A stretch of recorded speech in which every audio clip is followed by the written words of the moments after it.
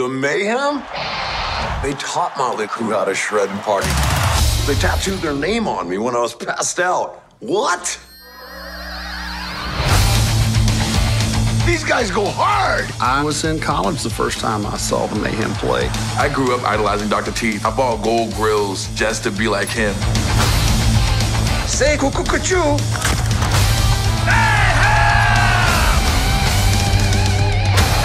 Well, we got a little sidetracked by the 80s.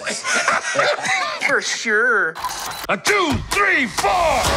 I'm Nora Singh from Waxtown Records. I would love to help you make an album. Well, all right. Nora? What's happening? I think Animal digs you. I dig the animal as well. I've been waiting my entire life for an Electric Mayhem album. Finally, somebody is making it happen. Okay, it begins. W. Very good, Animal. What say we bring the old school? And you bring the new. How about a hot music collab, huh? I think Animal's all ready to lay down our drum track. That was perfect. What? What? I don't think the band is digging any of this. It is so hot, I'm gonna pass out. You feeling this? Yeah. We did it. See? Happy. They're always happy. Watch. Hey guys, look. I got a fork. You did it.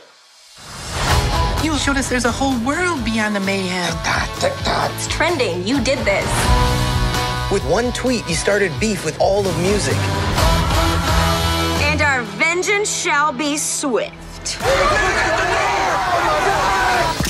I like this show. Lots of drama. Let's get back to you doing what you do best. I'm ready to roll with it. Well, good, because we're ready to rock with it. We're gonna rock! Welcome to the mayhem. Rock! Well, we're more than just a band, we're a family. All right. Electric Mayhem. Is that a vacuum? Thank you. Doesn't get any weirder than that, am I right? You know it. See this camera? Okay, do not look into this camera. Action.